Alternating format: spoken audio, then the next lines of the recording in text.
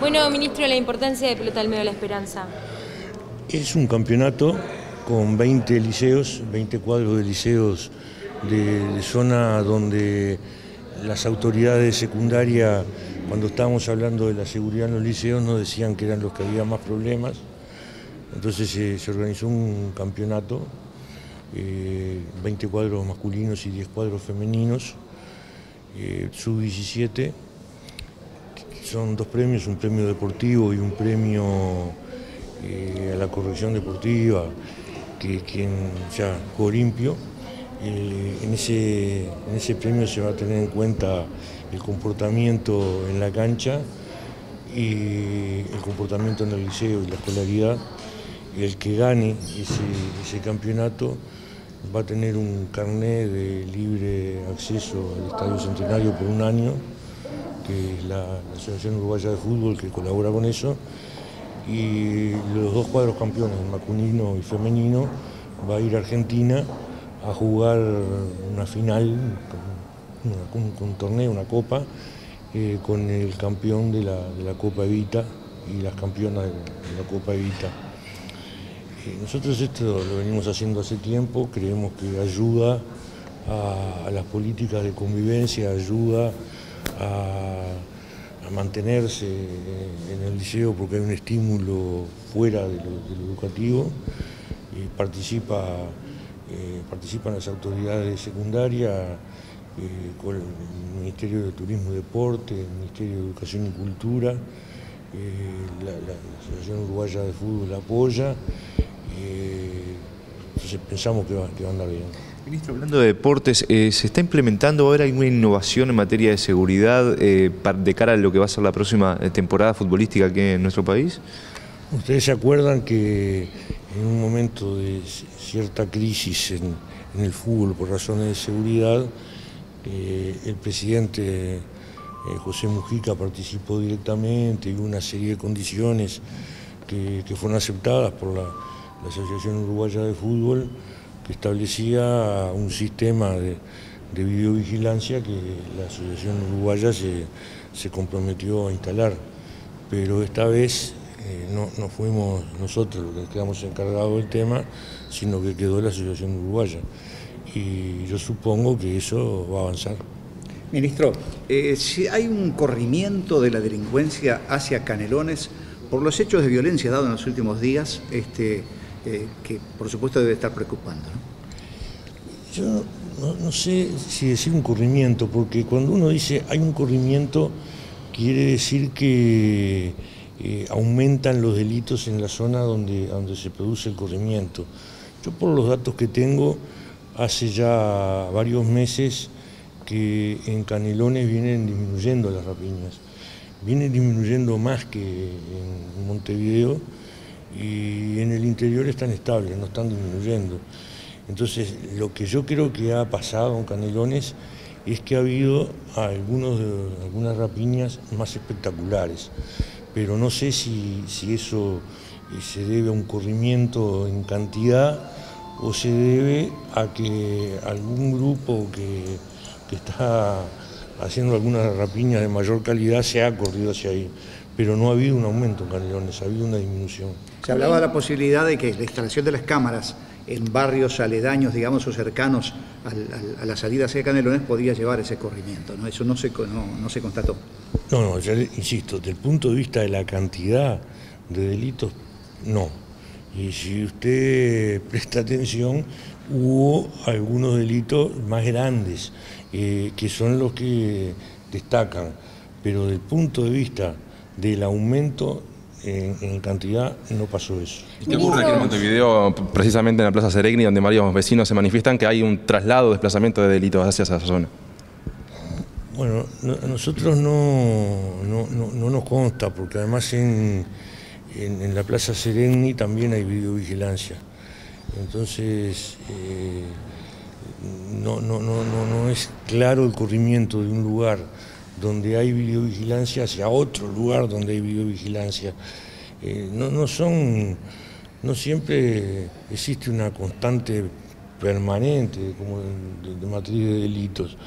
Eh, en la Plaza Libre Sereni ha pasado que aún cuando disminuyeron los, niveles de delito y se, prestó mucho más para la convivencia, hubo en, algunos momentos un pico, la policía tuvo que intervenir de forma más fuerte, eh, se trajo cierta tranquilidad de nuevo, pero en algún momento sucede, la policía interviene y otra vez retrocede, así que veremos cómo, cómo qué es lo que está sucediendo.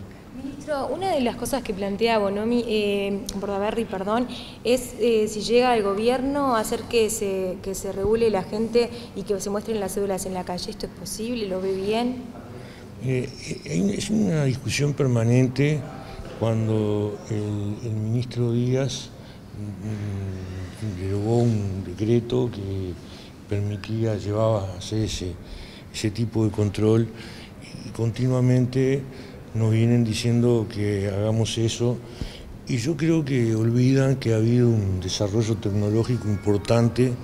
Nosotros tenemos el sistema AFIS de control que con poner el dedo en, el equipo eh, no solo aparece el número de cédula, sino que aparece si tiene antecedentes, si no tiene antecedentes, lo cual es mucho más fuerte, más tiene mayor utilidad que, pedir la cédula.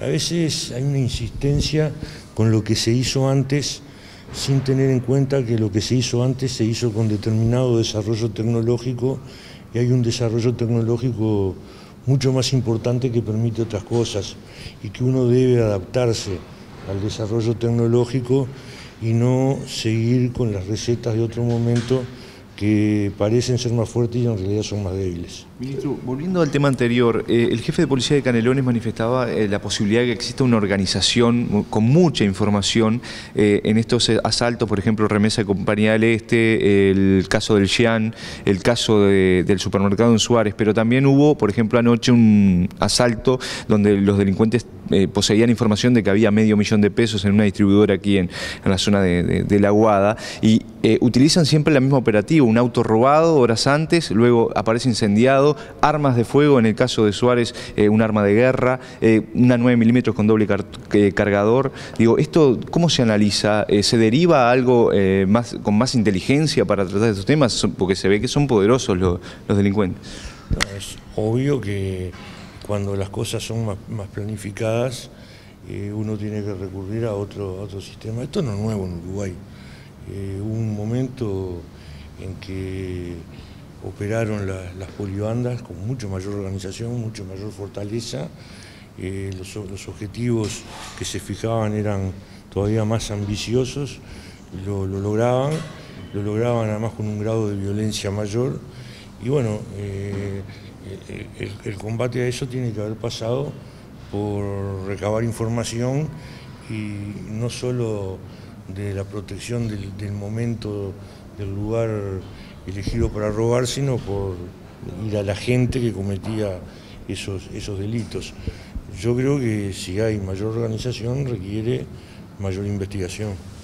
Y yo escuché al, jefe de, policía de Canelones en informativos, no tengo eh, la, información que, que constate exactamente eso, pero bueno, uno lo puede lo puede deducir.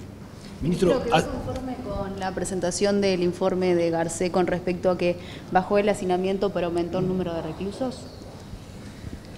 Bueno, aumentó el número de reclusos. Yo quiero decir que eh, cuando nosotros asumimos había unos 8.500 personas privadas de libertad y nos auguraron que para fin de año iba a haber 10.000. Para cada fin de año nos están augurando que va a haber 10.000 y no los hay. Estamos por, terminar la gestión y no hay 10.000. Entonces, que, ha habido un aumento, yo creo que si hubo un aumento de los delitos, eh, mide la eficiencia de la policía que detenga a quienes cometan los delitos y eso aumenta el número de presos. La policía está eh, deteniendo y son procesados a partir de esas detenciones unas 11.000 personas por año. Eso habla de la eficiencia de la, policía. Y a pesar de esa cantidad de, detenciones, el, índice, eh, la tasa de reincidencia en estos cuatro años ha bajado. Entonces yo me, tengo que sentir relativamente conforme con que el trabajo que se está haciendo en cárceles se encauzó bajo, la, bajo el hacinamiento, se han desarrollado políticas de rehabilitación a través del estudio, del trabajo, y que están teniendo efectos. Eh, todavía hay que seguir en ese camino, hay que insistir, pero también me, siento conforme con quien está para evaluar lo que se está haciendo, eh, señala avances importantes. Ministro, de esas 11.000 personas que usted dijo que se detienen, ¿qué porcentaje termina en procesamiento? No, yo dije que procesaron 11.000. Ah, bien.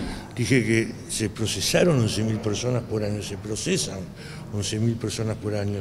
La policía de Montevideo está deteniendo y son procesadas, procesadas, eh, más o menos algo más de 400 personas por mes. Eso habla de, la eficiencia de la policía. Están procesando más de 12 personas por día eh, por el trabajo de la policía. Entonces, eh, si uno encuentra que, hay un aumento de la delincuencia, se lo puede achacar a, la policía. La policía está siendo efectiva. Lo que está pasando que hay un vuelco hacia la actividad delictiva fuerte. Ese vuelco fuerte existe en toda la región, no solo en Uruguay.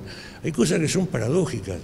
Eh, nosotros tenemos reuniones de Mercosur y de, UNASUR, de ministros del Interior y estamos absolutamente convencidos que el crecimiento de la delincuencia es mucho mayor en la región y es menor en Uruguay.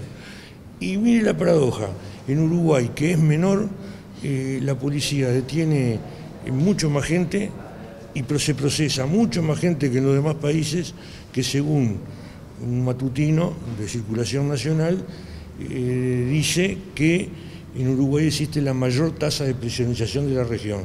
Bueno, eso también habla de la eficiencia de la policía.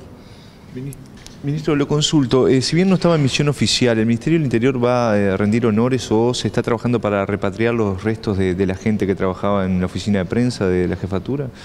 Sí, está, está trabajando porque en Colombia eh, se lo consideró heroico al policía que, murió eh, salvando a una persona de de ahogarse, salvó a la persona, pero ahogó él.